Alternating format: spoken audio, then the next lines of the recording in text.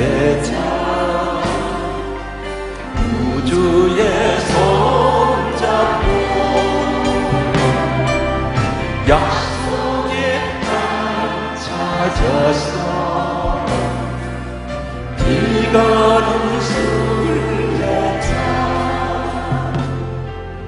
언젠가 감동 너주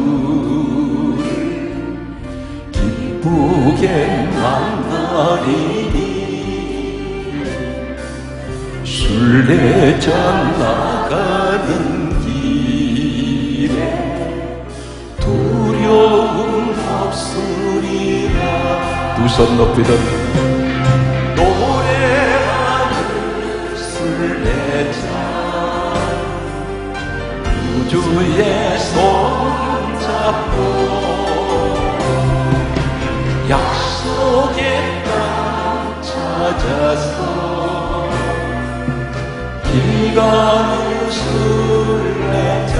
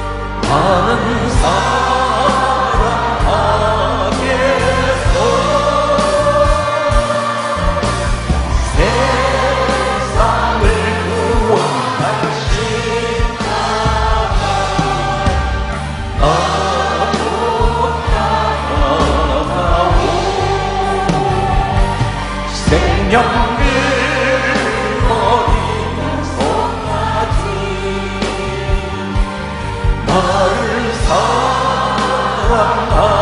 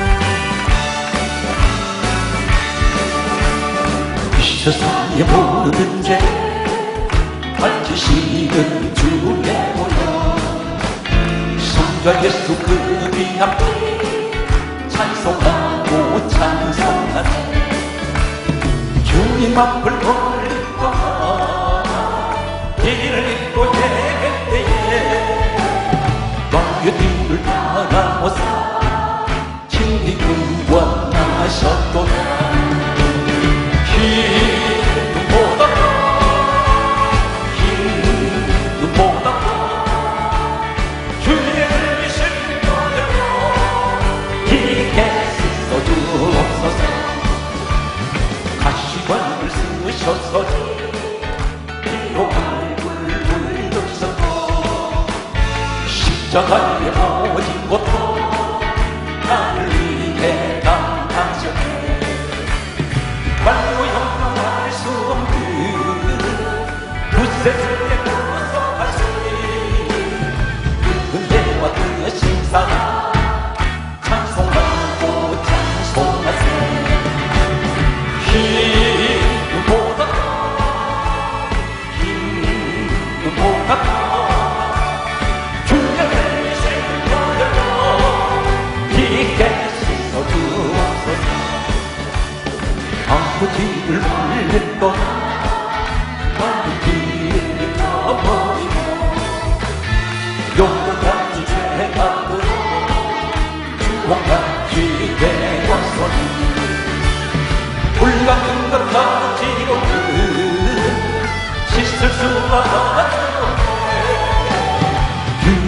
진짜 보냈네요 날 경력게 하옵소서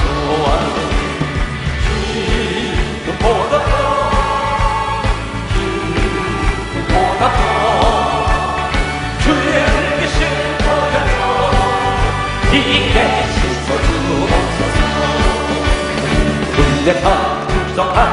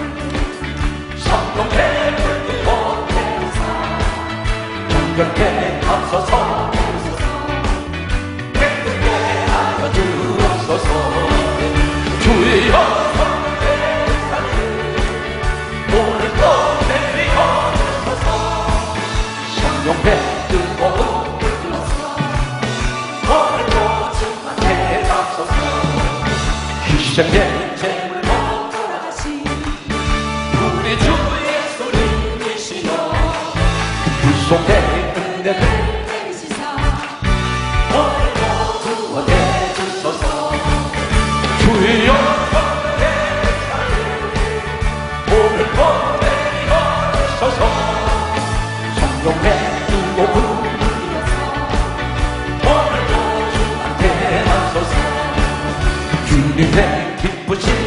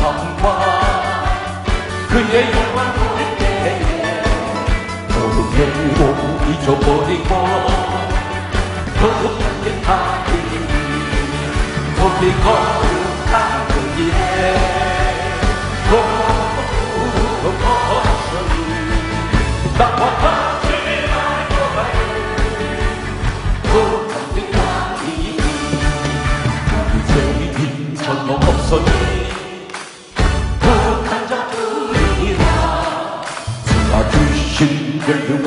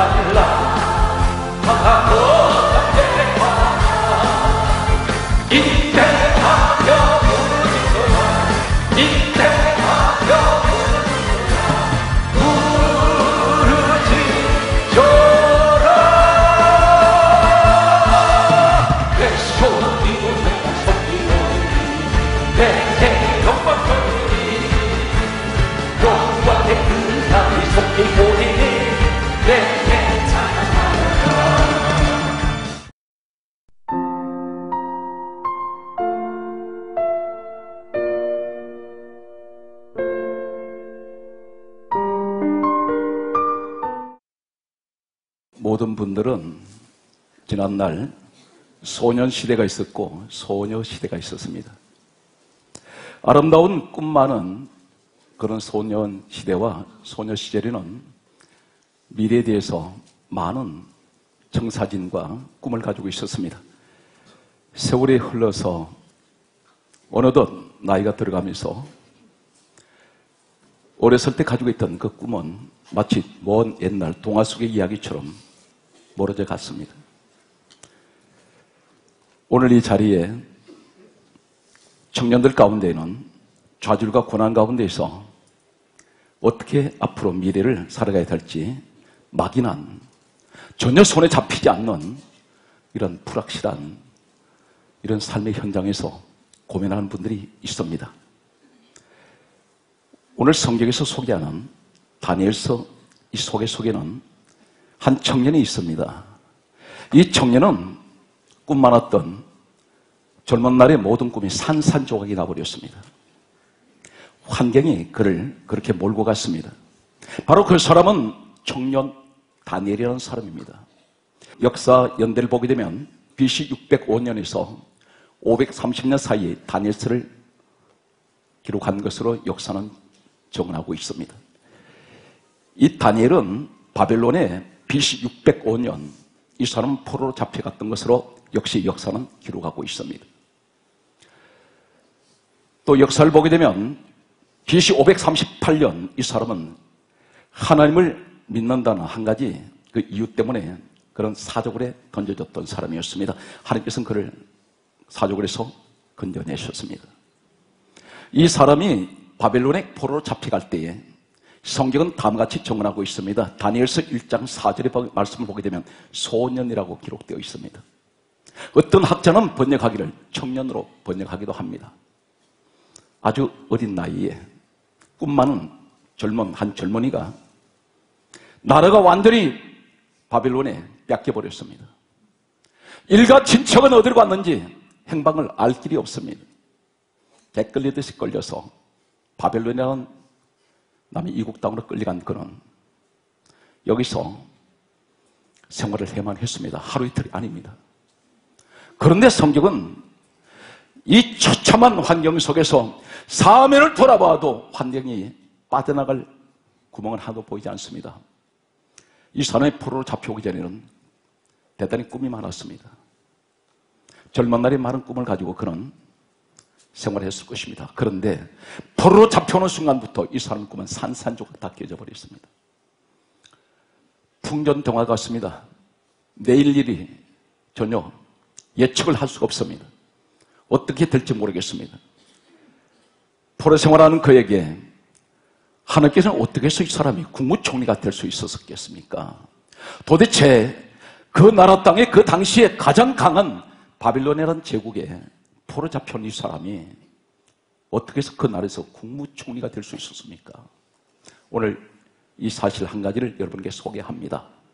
오늘 이 자리에 무엇을 찾으러 합니까? 무엇을 근심하고 있습니까? 특별히 청년들에게 권합니다. 많은 꿈을 가지고 있었습니다. 그러나 그 꿈은 산산조각 다 나버리고 이제는 내 앞에 꿈은 사라져 버렸습니다. 마치 아지랑이처럼 피어오르다가 어디론가 다 흩어져 버렸습니다. 그러나 그 꿈을 다시 찾으시기 바랍니다. 그리고 그 꿈을 잡으십시오. 오늘 반드시 이 시대에 성령 강조하고 있습니다. 요한복음 6장 23절에 하나님께서 우리 특별히 주님 말씀하시기를 내 말은 영이다. 오늘 성경 말씀은 영의 이야기입니다. 무슨 얘기인지 아십니까? 영적인 사건은 과거에 다내리게 일어났던 이 사건이 영적으로 지금도 일어날 수 있다는 것입니다. 성경은 한 사건을 여러분에게 소개합니다. 아브라함이라는 사람이 있었습니다. 아브라함이라는 사람은 창세기 12장 1절에서 4절에 한마디 결론은 이렇습니다. 너는 복의 근원 될지어다. 누가 그렇게 선포했습니까? 75세 된 아브라함은 복의 근원이란 상상조차 하지 않았습니다. 어느 날 하나님 찾아오셔서 말씀을 주셨습니다. 너는 복의 근원이 될지어다. 그런데 이 복의 근원이라는 이 말씀이 갈라디아 3장 9절 신약 시대에 와서 성경은 이렇게 말씀하고 있습니다. 누구든지 아브라함 같은 믿음을 가지고 있으면 아브라함과 함께 복을 받는다 이랬습니다. 그 복이 어떤 것입니까? 복의 근원이라는 것입니다. 분명히 이 시대에도 영적인 사건을 옮겨오면 과거에 아브라함에게 하셨던 이 말씀이 지금도 이 시간에 재현됩니다. 분명히 이 자리는 아브라함 같은 믿음을 가지고 있는 사람이 있습니다.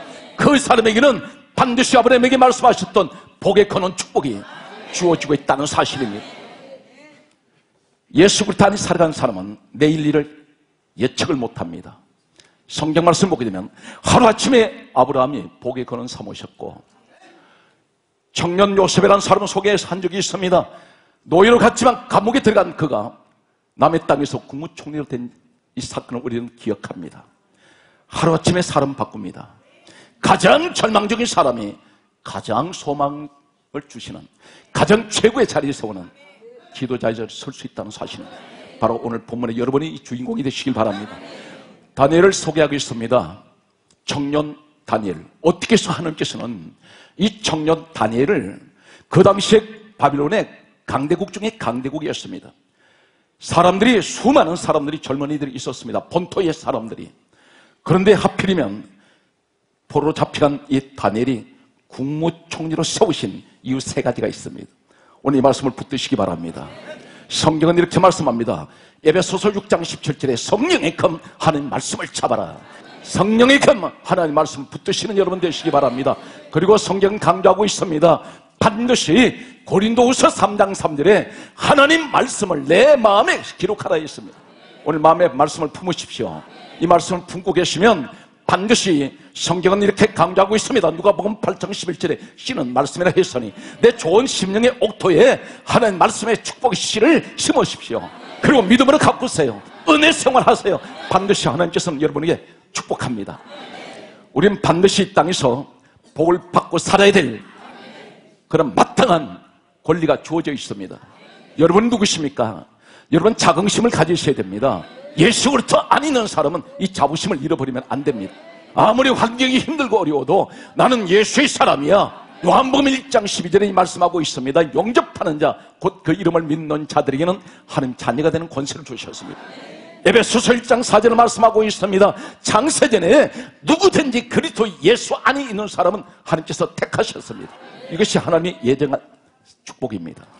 나는 오늘 그리스도 예수 안에서 오늘 시간도 난 예배 드리고 있습니다. 그렇다면 하나님 누구를 찾으세요? 요한복음 4장 23절에서 24절에 아버지께서는 예배자를 찾으십니다. 오늘 이 시간 여러분을 하나님이 찾으셨다는 사실입니다. 저는 여러분을 뵐 때마다 한 가지를 늘 잊지 않습니다. 성경은 이렇게 말씀합니다. 사람이 마음으로 자기 길을 계갈지라도 그 걸음을 인도하시는 분은 하나님이시기 때문에 마태복음 10장 30절에 사람의 머리털까지도 다 세신 받으시는 하나님이시라 했습니다. 세고 계신 것이 아니라 이미 다 세셨습니다. 그렇다면 내 발걸음을 이곳으로 옮기게 하신 그분은 하나님이세요. 그분의 성령님이 나를 인도하셨다는 사실입니다. 예배 자유로. 오늘 여러분 택한 사람, 여러분 축복의 사람, 복에 거는 사람인 것을 감사하시기 바랍니다. 특별히 오늘 다니엘은 한 가지 특징을 먼저 소개하겠습니다. 이 사람은 포로 생활하면서 늘 이 사람은 늘 습관처럼 잊어버리지 않는 하루에 세 번씩 하는 것이 있습니다. 기도입니다. 성경은 대표적으로 이렇게 말씀하고 있습니다. 다니엘서 9장 20절에 보게 되면 오늘 그가 기도할 때 성경은 한 가지 사실을 단어를 주목하고 있습니다. 간구할 때. 이 간구할 때 이 말이 무슨 말이냐면 보통 기도가 아닙니다. 이 간구라는 기도는 열정적인 기도입니다. 적극적인 기도입니다. 확신에 찬 기도입니다. 오늘 여러분 기도할 때 확신도 없는 기도하는 분이 있어요. 독백처럼 기도하는 사람이 있습니다. 하소연하고 있습니다. 믿음을 가지고 기도해야 됩니다. 오늘 성경 말씀 을 보게 되면 이 다니엘이 기도할 때 간구하는 기도를 했는데 성경이 계속해서 이렇게 말씀하고 있습니다. 다니엘서 9장 21절 말씀 보게 되면 다니엘이 기도할 때에 가브리엘 천사가 찾아왔습니다. 기도할 때는 반드시 어김없이 천사가 여러분 찾아옵니다. 그 사건이 어디 있습니까? 계시록 5장 8절 말씀과 계시록 8장 3절 이하의 말씀 보게 되면 반드시 성도가 기도할 때에 천사가 와서 금그릇에 성도의 기도를 받고 있다는 사실입니다. 이 기도가 성도의 기도가 천사의 손으로부터 하나님 보좌 앞으로 올라갑니다. 오늘 이 자리가 그 자리가 되시길 바랍니다. 오늘 이 천사가 왔을 때에 무엇을 하러 왔습니까? 다니엘이 왜 국무총리가 될 수 있었냐면 첫 번째 놀란 비밀이 여기 소개되어 있습니다. 이 사람이 기도할 때에 그가 간구하며 기도할 때에 오늘 가브리엘 천사가 왔는데 성경은 다음같이 말씀하고 있습니다. 다니엘서 9장 22절에 천사 가브리엘이 이렇게 말합니다. 지혜와 총명을 주려고 왔다 했습니다. 하늘에서 내린 지혜, 하늘에서 주시는 총명. 오늘 여러분 나이 타다면 안 됩니다. 얼마든지 나이가 들어도 지혜로운 사람이 있어요. 총명한 사람이 있습니다. 오늘 기도하는 다니엘을 통해서 천사가 지혜를 주며 총명을 줍니다. 바벨론의 우상성이라는 모든 사람들은 따라올 수가 없습니다. 그 지혜를 타의 추종을 불허해버립니다. 모방을 할 수 없습니다. 흉내도 못 냅니다. 왜 그렇습니까? 하나님이 부으시는 지혜, 하나님이 주시는 총명, 오늘 특별히 이 민족에게, 우리 청년들에게 기도하시는 이 땅의 모든 청년들에게 하나님 주시는 지혜와 총명이 있기를 예수 그리스도 이름으로 축복합니다. 할렐루야. 기도하는 사람 지혜를 주세요. 가브리엘 천사가 온 이유는 분명히 그렇게 말하고 있습니다. 지혜와 총명을 주려고 왔다. 오늘 하나님 내게도 이 지혜가 필요합니다. 그렇다면 기도하기를 원합니다. 하나님 기도하는 우리에게 특 특별히 오늘 이 밤에 가브리엘 천사를 보내주셔서 우리에게 하늘에서 주시는 지혜와 총명을 내게 주시옵소서. 할렐루야. 성경은 계속해서 말씀을 추적하면 이렇게 소개하고 있습니다.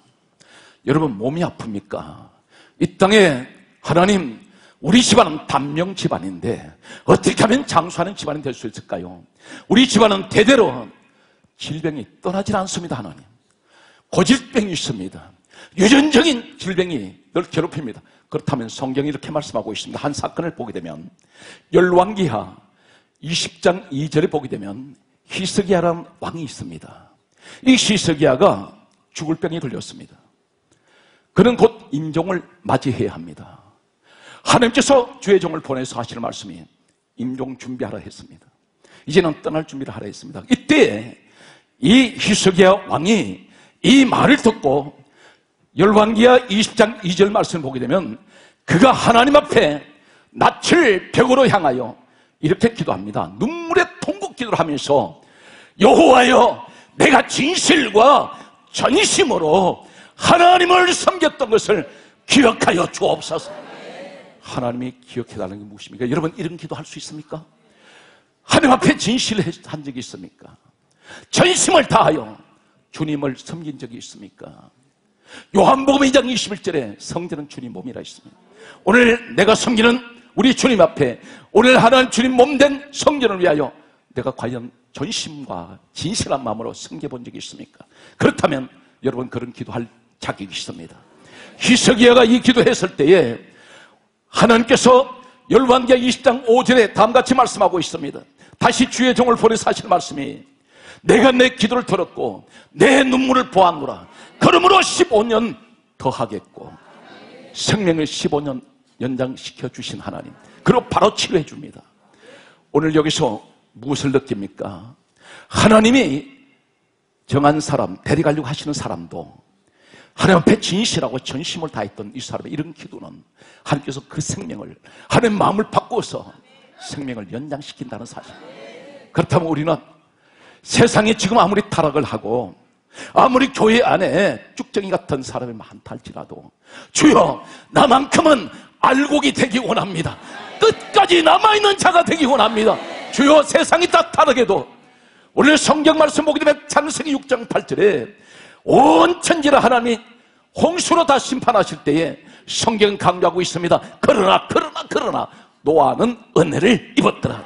노아 한 사람 같은 끝까지 남은 자가 되게 하여 주세요.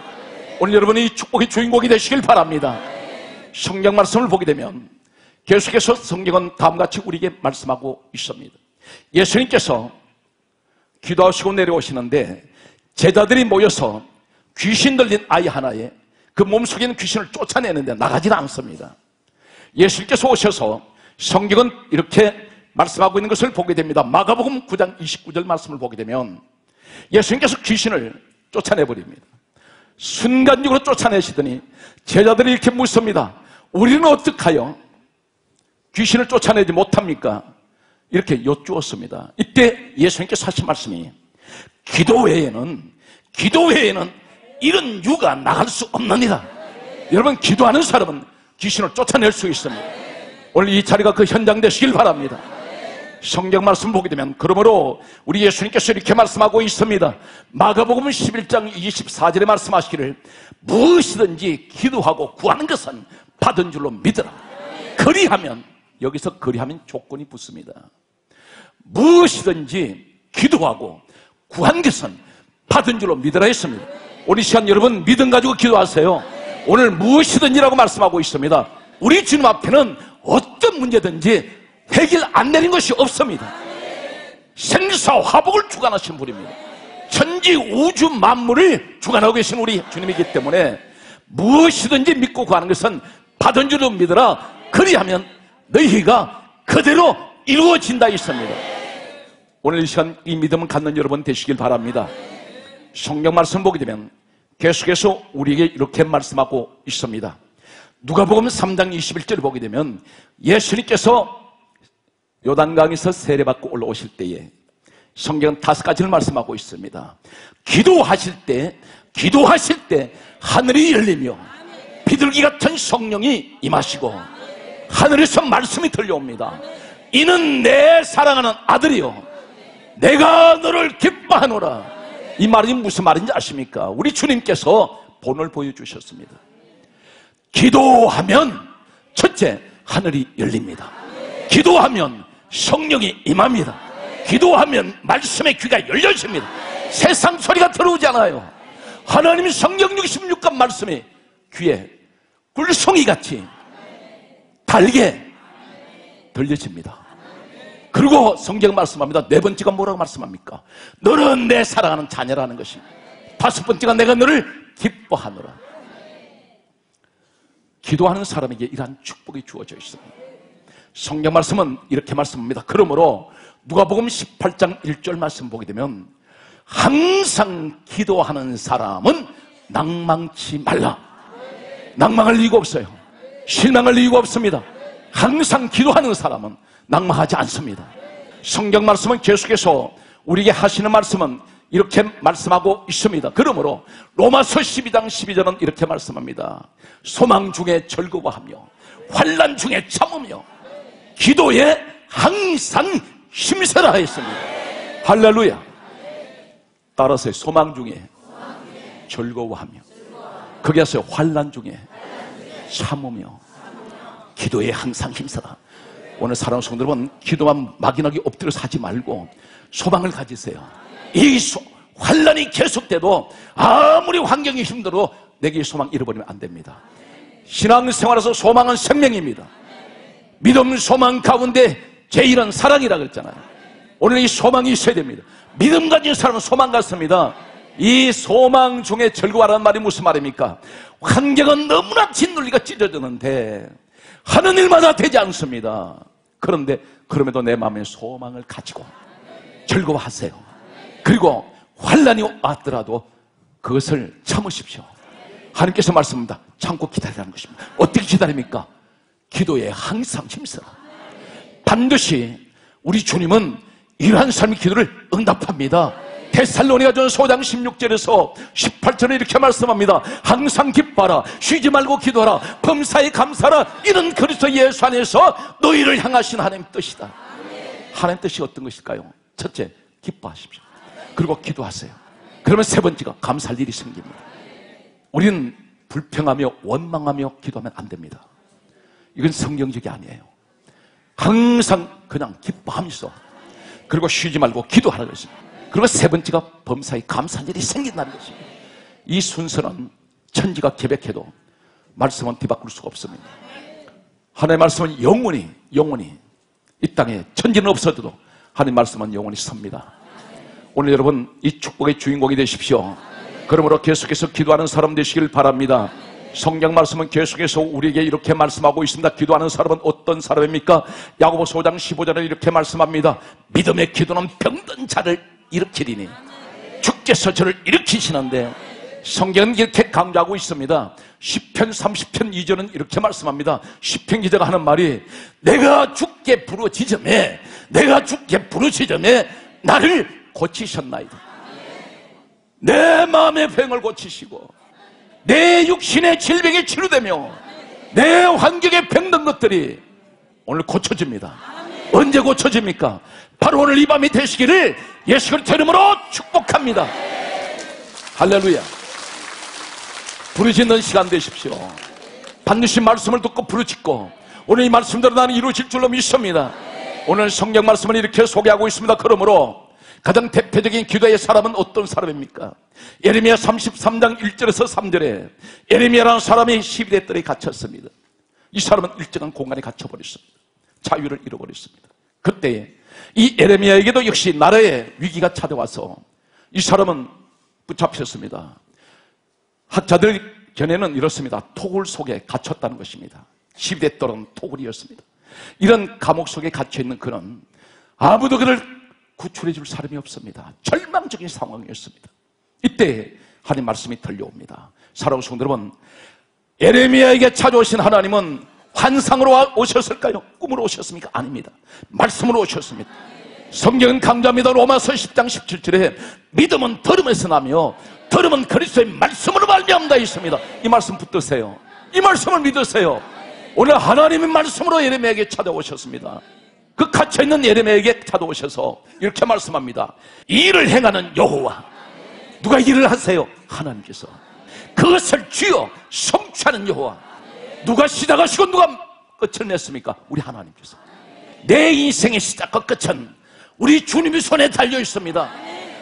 우리 하나님 말씀합니다. 이를 행하는 여호와 그것을 지어 성취한 여호와가 내가 내게 이렇게 이루노라. 너는 내게 부르짖어라. 내가 내게 응답하겠고 내가 알지 못하는 크고 비밀한 일을 내게 보여주리라. 할렐루야. 하나님이 나도 모르는 일을 보여주신다는 겁니다. 나는 에리미야처럼 갇혀 있습니다. 환경에 갇혀버렸습니다. 내 마음 내 스스로 가둬놓았습니다. 나는 자유를 잃어버린 사람. 무엇을 하고 싶어도 가진 것이 없어요. 빈손입니다. 아무것도 손에 쥔 것이 없습니다. 마치 풍선을 불면 불수록 그 속은 아무것도 없는 허공입니다. 내 인생에 마치 이 풍선 같은 인생입니다. 그런데 언제든지 뻥 터질 수 있습니다. 그런데 하나님 말씀합니다. 너 내게 부르짖어. 그러면 나는 일을 행하는 하나님이야. 그것을 쥐어서 성취한 하나님이야. 그러므로 너는 내게 부르짖으면 내가 알지 못했던 크고 비밀한 일이 너희 인생에게 내가 계획하는 것이 있는데 그것을 이루어 주시겠다는 것입니다.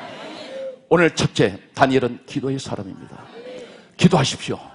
그러면 다니엘처럼 포로로 잡혀갔다 할지라도 이 땅에서 아무도 그를 도와주지 않아도 하나님이 계십니다. 하나님이 여러분을 인생을 새로 쓰게 하실 것입니다. 내 인생 역사는 반드시 하나님께서 새로 이제 준비하고 계십니다. 오늘 이 말씀을 듣는 여러분에게 이 축복의 주인공이 되십시오. 두 번째는 이 다니엘은 어떤 사람이었을까요? 성경 말씀을 보게 되면 오늘 본문 다니엘서 4장 9절에 오늘 너부갓네살은 왕이 이렇게 말합니다. 다니엘을 보면서 너 안에는 거룩한 신들의 영이 있다. 그랬어요. 거룩한 신들이 누굽니까? 성령을 말씀합니다. 다니엘은 성령의 사람이에요. 다니엘은 첫 번째 기도의 사람, 기도하는 청년. 두 번째는 이 다니엘은 성령이 함께하는 청년이었습니다. 성령이 함께하는 것이 그렇게 중요할까요? 성경은 이렇게 말씀하고 있습니다. 갈라디아 5장 16절에 너희는 성령을 쫓아 행하라. 성경 분명히 그렇게 말씀합니다. 요한복음 20장 22절에 예수님께서 부활하시고 난 후에 제자들에게 찾아오셔서 첫 하시는 말씀이 너희에게 평강이 있을지어다 말씀하면서 성령을 받으라 이렇게 말씀합니다. 우리 성령을 받으라고 말씀합니다. 예배소서 5장 18절 말씀합니다. 오직 오직 성령 충만을 받으라 말씀합니다. 다니엘 4장 9절에 하나님의 신이 함께하는 이 다니엘은 성경 말씀 보게 되면 다니엘서 6장이 와서 사족으로 들어갔는데도 죽지 않아요. 하나님이 그를 지켜줍니다. 하나님이 그를 건져냅니다. 우리 보고 하신 얘기입니다. 네가 사자굴 속 같은 그는 고난에 들어간다 할지라도 기도하는 사람, 하나님 신이 함께하는 성령의 사람은 반드시 그 자리에서 죽지 않습니다. 망하지 않습니다. 반드시 하나님께서는 건져 올립니다. 오늘 이 현장에 이 자리가 되시기 바랍니다.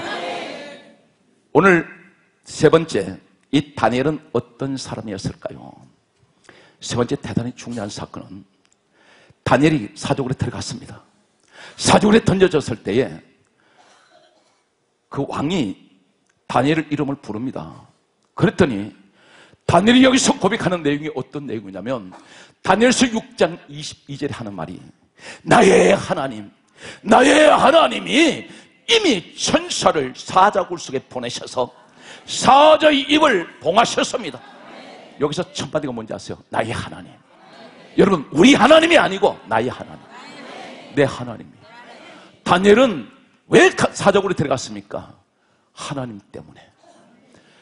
비록 그가 포로로 잡혀왔지만 이 사람들이 그 나라에 섬기는 신한테 절하지 않고 예배하지 않고 하나님만 바라보는 이 사람은 성경 말씀 보게 되면 이 사람은 하루에 세 번씩 예루살렘을 향하여 창을 열고 하나님 앞에 기도했던 사람입니다. 기도하면 안 됩니다. 법으로 정해져 있습니다. 사족으로 집어 던집니다. 법으로 정해진 것을 알고도 그런 기도한 사람이에요. 무엇을 말하는지 아십니까? 이 사람은 명예를 가지고 있습니다. 국무총리라는 권력이 있습니다. 그런데 이 사람은 나는 국무총리란 권력도 잃어버려도 내게는 명예를 잃어버려도 내게는 부귀영화를 잃어버려도 내 생명을 잃어버려도 내게는 내 하나님이 가장 소중합니다. 이 다니엘의 신앙이에요. 하나님 받기는 몰라. 나는 사적으로 들어가서 지켜 죽어도 나는 우리 하나님 받기는 모릅니다. 그래서 들어간 사람이에요. 이 사람은 세 번째 철저하게 하나님만 의지했던 사람입니다. 이 다니엘 청년은 세 가지가 있습니다. 그런 기도하는 사람, 그런 성령의 사람, 그런 하나님만 의지하는 사람입니다. 성경 말씀을 계속해서 보게 되면 사적으로서 나왔던 이 다니엘을 가리켜서 다니엘서 6장 28절은 이렇게 말씀하고 있습니다. 다니엘이 다리오 왕 시대와 고레스 왕 시대에 형통하였더라. 정권이 두 번 바꿔졌습니다. 왕이 바꿔졌습니다. 이 사람들 그 당시 왕이 무슨 4년마다 바꿔지는 그런 왕이 아니라 이 사람들 왕들은 장기 집권해요. 그런데 그 장기 집권하면서 왕이 두 번 바꿔져도 이 다니엘은 국무총리 자리에 그냥 있습니다. 하나님이 아무도 끌어내리지 못하게 합니다. 하나님이 잡고 있으면 세상 사람을 끌어내지 못해요. 다니엘은 사자굴 속에 서 들어갔는데 고난의 완전한 사망에 밑바닥에 들어갔다가 이 사람 나오니까 더 형통해집니다. 오늘 여러분들이 지금 사자굴수 같은 고난의 자리에 있다고 생각하십니까? 환경이 너무 힘들다고 생각하십니까? 그 자리에서 오늘 이기고 이 자리 벗어나면 반드시 다니에게 말씀한 대로 형통한 축복이 여러분이 주어질 것입니다. 오늘 살아온 성도 여러분 그렇다면 다니엘이 섬겼던 다니엘이 믿었던 다니엘이 의지했던 그 하나님 누구실까요? 마지막 말씀 결론이 되겠습니다. 사랑하는 청년들이요. 그럼 오늘 이 자리에 절망과 여러 가지 어려움 앞에 괴로워하신 분들이 있다면 오늘 이 시대에 다니엘 같은 신앙 가지십시오. 그리고 반드시 여러분들은 하나님께서 인생을 뒤바꿀 것입니다. 다니엘이 믿는 그 하나님은 바로 누굽니까? 빌립보서 2장 6절에 성경이 이렇게 말씀합니다. 근본 하나님 본체이신 예수 그리스도. 이 땅에 오신 예수님이 근본 하나님 본체라고 말씀합니다. 오늘 이 시대에 우린 다니엘 같은 신앙을 가져야 됩니다. 하나님 세상 것이 다 소중하고 귀하다 할지라도 내게는 많은 세상에 귀한 것들이 있습니다. 그러나 가장 중요한 것은 내게는 예수 받기는 내게는 온 우주를 다 주어도 바꿀 수 없는 분이 내게는 예수 그리스도밖에 계시지 않습니다. 할렐루야. 저는 고백합니다. 제 인생이 날마다 엎드릴 때마다 그 고백은 한 가지 빠뜨리지 않는 것은 제가 이 땅에 존재하는 것은 지포레 같은 인생이고 벌레 같은 인생일 할지라도 내게는 예수님이 아니라면 저는 이 땅에 있어야 될 존재를 모르겠습니다. 주님 일이 아니면 저는 이 땅에 있고 싶지 않습니다. 어차피 인생은 흙으로 돌아가는데 내게 유일하게 내 소망은 예수님밖에 계시지 않습니다. 그 고백밖에는 못합니다. 저는 솔직한 고백입니다. 많은 주의 종들이 그런 고백이 있을 것입니다. 이 땅에서 저는 관광하러 이 땅에 온 것도 아니고 세상에 있던 명예를 위해서 온 것도 아니고 세상 재물을 위해서 온 것도 아닙니다. 오직 주님을 위해서 저는 선택받았다고 하는 이 한 가지 사실 앞에 또 감사하고 또 감사하고 밤새도록 울고 울어도 그 은혜는 갚을 길이 없습니다. 하루를 지나고 나면 늘 아쉬움밖에 남지 않습니다. 더 잘할 걸, 더 열심히 할 걸. 그런데 지나고 나면 전부가 실수투성이요. 한 가지도 제대로 한 것이 없다고 생각이 됩니다. 늘 그분 앞에 미안한 생각밖에 없습니다. 우리 모습이 되시기 바랍니다. 오늘 우리는 예수님을 바라봐야 됩니다. 다니엘처럼 하나님을 의지하는 그는 순교적인 믿음, 내게 주여 이 시대에 예수를 위해서 살고 예수를 위해서 죽을 수 있는 이 강한 믿음 내게 주세요. 오늘 이 시대에 하나님 우리가 다니엘 같은 기도하는 사람 되기 원합니다. 성령의 사람 되기 원합니다. 하나님만 의지하는 사람, 곧 예수 그리스도만 의지하는 이 믿음을 내가 가지기 원합니다. 말씀의 결론입니다. 히브리서 12장 2절에 믿음의 주요 온전케 하시는 예수를 바라보자. 믿음의 주가 되시는 예수님 바라보세요. 오늘 다니엘처럼 하나님 여러분 환경이 포로가 되었다 할지라도 반드시 여러분을 다니엘처럼 하나님께서 높이시고 하나님께서 세우실 것입니다. 그러므로 절망할 이유가 없습니다. 낙심하지 마세요. 오늘 이 시간은 이 시간까지 예배드리기까지 나는 죽고 싶은 심정이라고 했는지 모릅니다. 환경이 절망이라고 생각했는지 모릅니다. 그러나 내일 하나님 우리의 새 아침을 맞이하게 하시고 새 소망을 준비하고 있습니다. 오늘 이 시간 마음껏 부르짖고 기도하는 여러분들에게 오늘 다니엘의 축복이 함께 하시는 예수 그리스도 이름으로 축복합니다.